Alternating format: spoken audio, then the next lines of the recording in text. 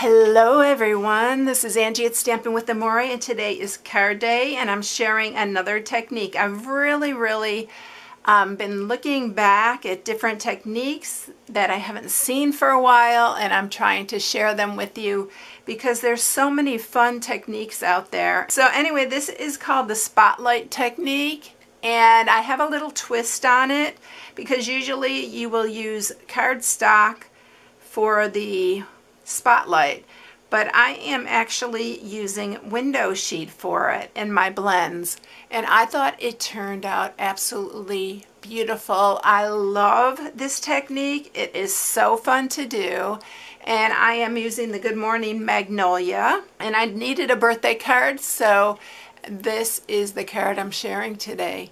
So I don't know if you can see but I'll show you how this is done. It's really really um, pretty simple and really fun to do because coloring on the window sheet is a lot different than coloring on your cardstock. All right, let's get started with this. This may be a little bit longer because of the technique. So you're going to need a piece of thick whisper white for your card base. It's five and a half by four and a quarter.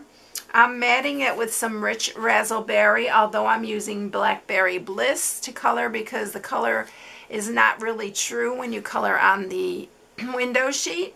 So this is uh, Rich Razzleberry and it's 5 and 3 eighths by 4 and 1 eighth. And then you'll need a piece of cardstock. This is the one we're going to stamp our image on and this is five and a quarter by four and then you need a piece of window sheet that is five and a quarter by four you really don't need a whole piece of window sheet but I found this is the easiest way to do it so let's go ahead and get started. All right, so first thing we're going to do is stamp our image. I have it mounted on here. You can use your Stamparatus or if you have one of the big blocks, um, use the big block for that. So we are going to ink this up with Memento Black. And we're going to stamp our image this one's going to go in the middle, but we are going to stamp around um, the image it also to fill in the areas. So I'm stamping that right in the middle. And we are going to re-ink. And I'm really re-inking just the top part because I'm going to be setting these around in different areas. I'm going to do this side first. I'm going to try to just fit the stamp around there, try to fill as much area as I can. So this is where you're going to get it on your piece here, but don't worry about it.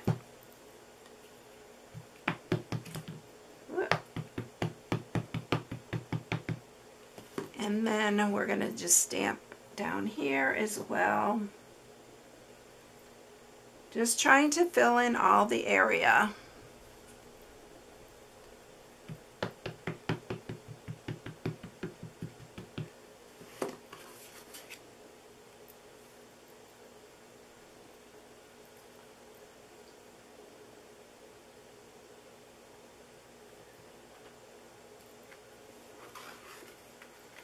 There, and then I think I'm just going to bring in a couple leaves here, leaves.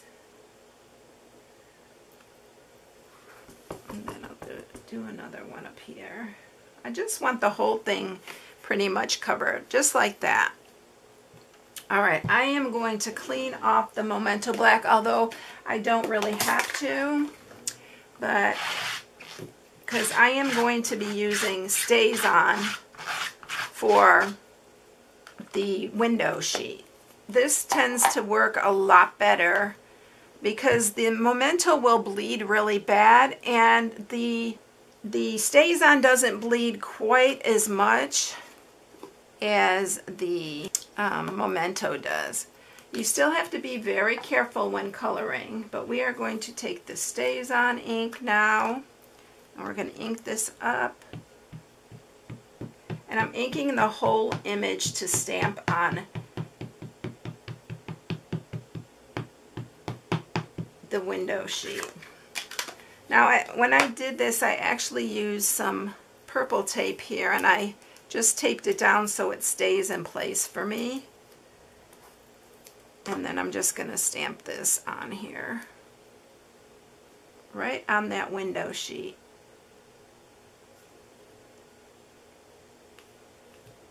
And when you do this, lift straight up to get your image. Okay, so now we can remove our tape and we have our image on here. Now, earlier I took my heat tool and I heated it to try to make it dry a little bit faster, but um, it looks like it's pretty dry right now. I'm going to actually just set it here so I can color where there's not a lot of, want to really be able to see. All right, so I'm using light and dark Blackberry Bliss, light and dark, um, I think this is Old Olive, no Mossy Meadow, and then for the center I am using the dark Mango Melody. So I'm just going to color that first. And if you can do this a couple ways. You can just color it or you can just like tap your areas where you want the dark. It works easier and try not to go over the black parts of your image because it can run. So wherever you want the dark, do the dark and then I'm just going to take the light and you're going to just, it just leaves a little bit of a different look. You can definitely just color it like this. It goes much faster to just color it. But you want to be careful of the lines. If you pounce like I'm doing here on this, um, you will get a more smooth, but I love the way it looks kind of watercolor. And it dries really fast on here, the alcohol marker.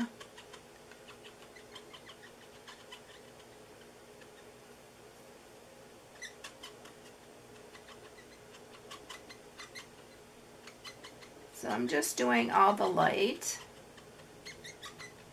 And then I'm going to go back with the dark.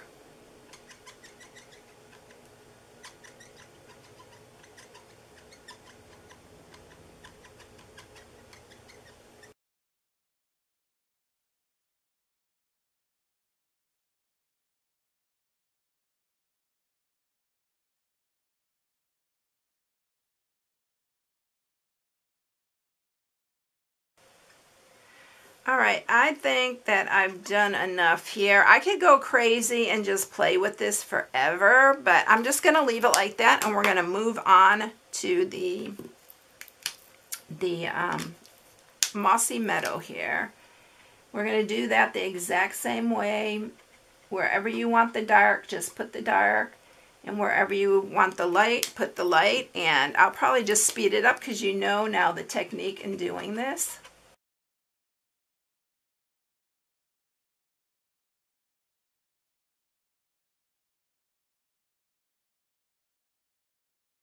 Okay, I think I am done with coloring the image. So whenever you're done, just clean off your tip on your um, on your markers because it will pick up some of the black on it.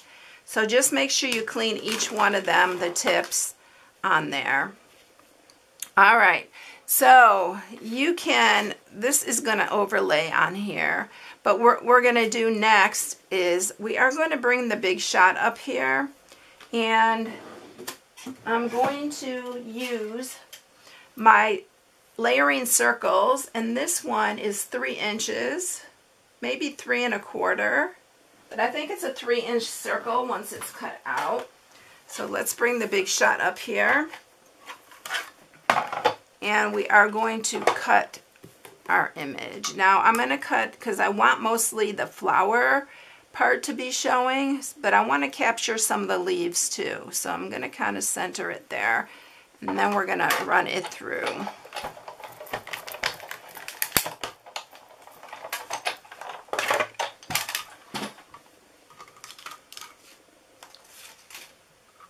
And then we have our little spotlight piece.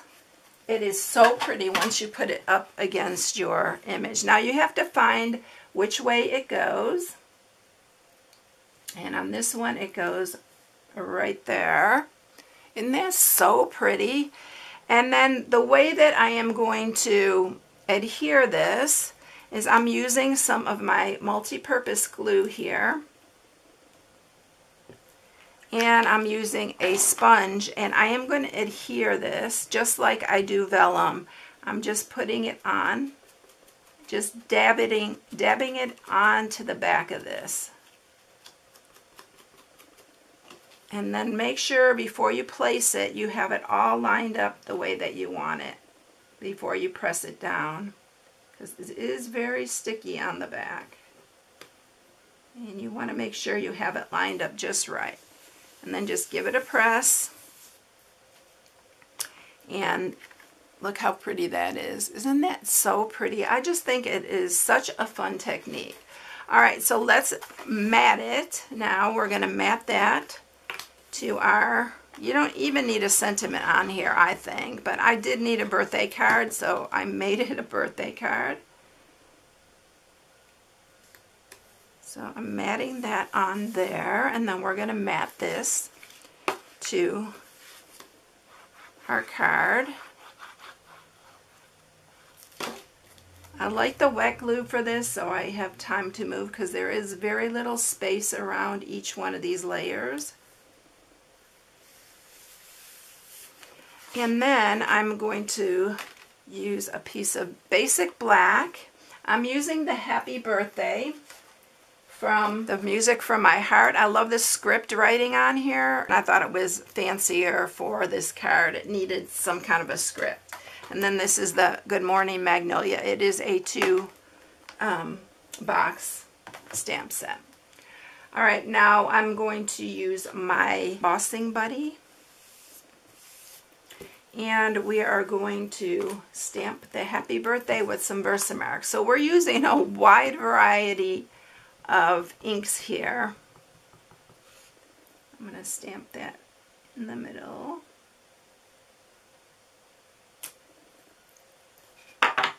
And then I'm using my white embossing powder.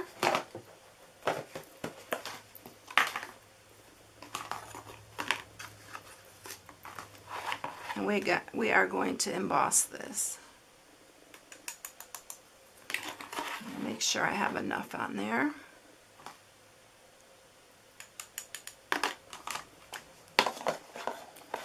And I'll bring up my heat tool and we will emboss that.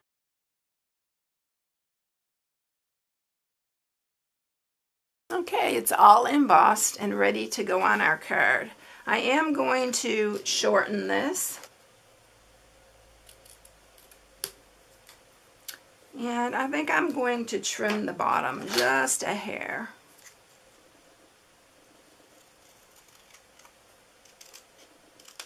There we go. All right, I'm going to use some wet glue. And we are going to put it at the bottom of this card.